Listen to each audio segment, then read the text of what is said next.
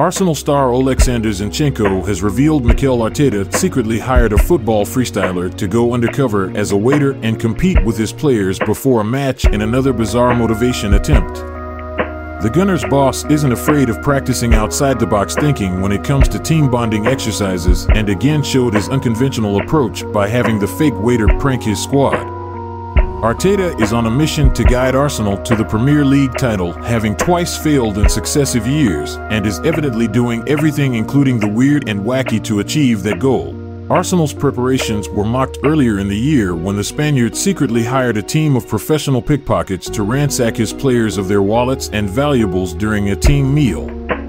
On that previous occasion, at the end of the meal, Arteta asked players to empty their pockets. Several then realized they were missing valuable items. The exercise was supposedly done to educate his first team stars on the importance of being alert at all times. Now, in a renewed motivation attempt, Zinchenko has revealed how he was challenged to take on one of Arteta's coaching staff to a freestyle competition only to be shown up by a professional trickster posing in disguise. We stayed at the same hotel before a match, and we knew all the waiters. But there was a new guy that day. So before we go to the stadium, Arteta said, Okay, guys, let me wake you up, because we need energy, Zinchenko told The Guardian. Last time, Alex, we played staff against players and you beat the set piece coach, Nicolas Jover. Let's do it the same, but freestyling. Everyone was like, What? For sure, Alex will beat him, blah blah blah. Nico started to do something with the ball, and then suddenly it looks like he got an injury. It was so obvious, but weird. Then they called the new waiter.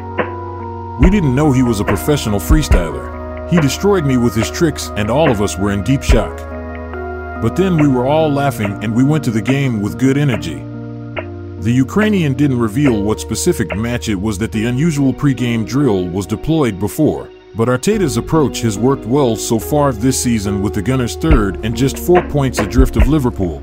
Other unconventional approaches deployed by the 42-year-old have also been well documented with Arteta once blaring Liverpool's iconic You'll Never Walk Alone anthem during a training session before a trip to Anfield. Arsenal players were also subjected to a rallying team talk where Arteta pulled out a light bulb and waved it around the dressing room to symbolize how he wanted his team to play with energy and electricity.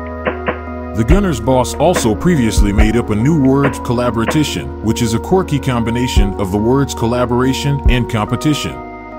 Arsenal fell to their first Premier League defeat of the season with a shock weekend loss at Bournemouth and could be further cast out of the title race if they lose to league leaders Liverpool on Sunday.